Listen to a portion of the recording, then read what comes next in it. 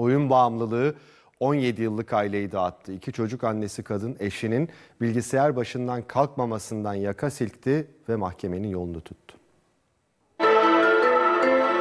Telefondan daha çok vakit ayırması gerekir. Ama ayırmadı. Hatta tam aksine gözünü ne telefondan ne de bilgisayardan ayırdı. Ekran bağımlılığı boşanmanın eşiğine getirdi. Boşanma sebebi sayılmaz ama tabii ki evlilikleri etkiler. ve çok ciddi bir fonksiyon bozukluğu vardır. İstanbul'da iki çocuk annesi bir kadın 17 yıllık evliliğini bitirmenin eşiğine geldi. Nedeni ise ne şiddet ne de başka bir kadındı. Eşlerden birinin aşırı derecede oyun oynama isteği diğerinin sabrını zorladı ve mahkemenin yolunu tuttu. Boşanma gerekçesi ise ilgisizlikti. Eşi giderek uyarır, giderek uyarır, giderek uyarır. Bunlardan da cevap alamadığı zaman artık boğazına kadar gelir ve hemen bo- boşanmaya başvurabilir diye düşünüyor. İddiasına göre eşi kendisi bir yana çocuklarıyla bile ilgilenmiyordu. Bağımlı bir şekilde online alışveriş yapıyordu.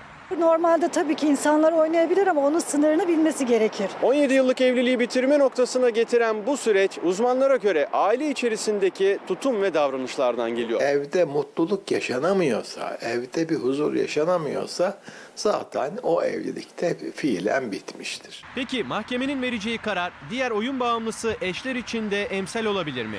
önemli saatlerde e, bunu kullanmamak, akıllı biçimde kullanmak en optimalidir. İkna etmeye çalışırım. Daha farklı şeylere yönlendiririm.